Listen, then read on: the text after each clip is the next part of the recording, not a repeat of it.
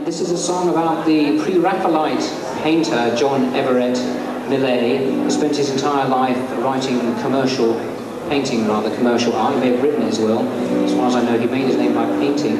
And uh, at the end of his life, the story goes that when he had an exhibition in the National Gallery, uh, he almost wept because he felt he had wasted his life doing commercial art instead of um, the love of his life, which was uh, real painting, if you like. So there's a warning out going into advertising or graphic art.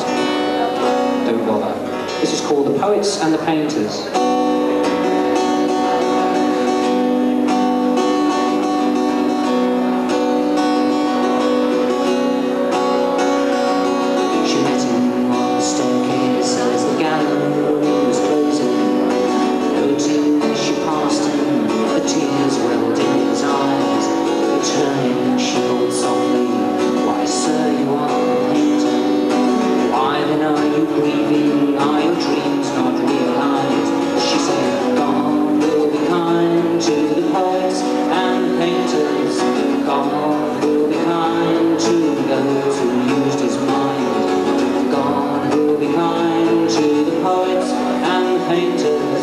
long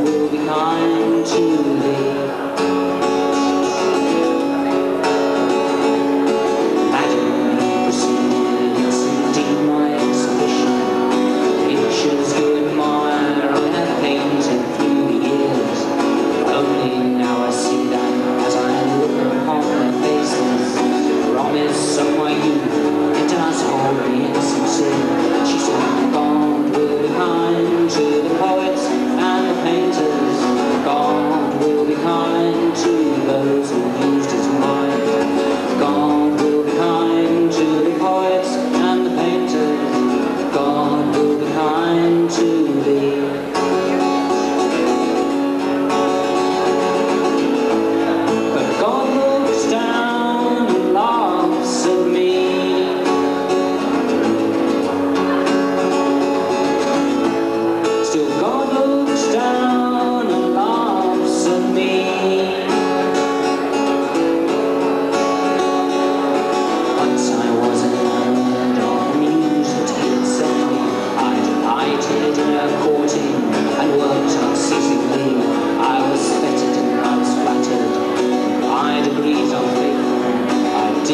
didn't even notice when she deserted me.